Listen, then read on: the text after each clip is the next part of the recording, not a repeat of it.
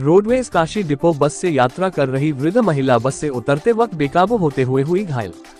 सोनभद्र, अनपरा थाना क्षेत्र के अंतर्गत डिबुलागंज में काशी डिपो बस न शून्य यूपी सात आठ जे एन शून्य सात शून्य एक में बस से यात्रा कर रही वृद्ध महिला बस से उतरते वक्त बेकाबू होते हुए गिरी सड़क पर हुई घायल स्थानिक और बस यात्रियों द्वारा घायल महिला को निकट अस्पताल चिकित्सा हेतु पहुँचाया गया। घायल महिला का आरोप है, कुछ दूर पहले मुझे उतरना था। बस का ड्राइवर बस नहीं रोका, बस चलाते हुए डिबुलेगंज में लाकर रोका, इसी हड़बड़ाहट में मैं गिर गई।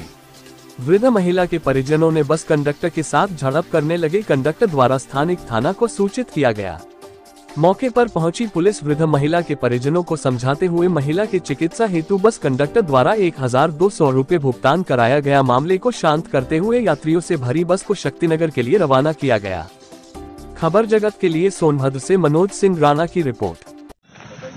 मामला सर कुछ था किस बस से आप किस बस से रोडवेज़ के हैं? कंडक्टर है? कहाँ से बस से आ रही थी?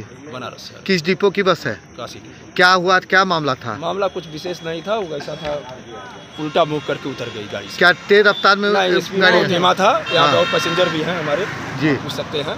जी। और गाड़ी रुकते रुकते थोड़ा सा जानकारी में इनको कहाँ उतरना था? इनको यहीं जिस जगह गाड़ी रुकवा रही थी अच्छा। आप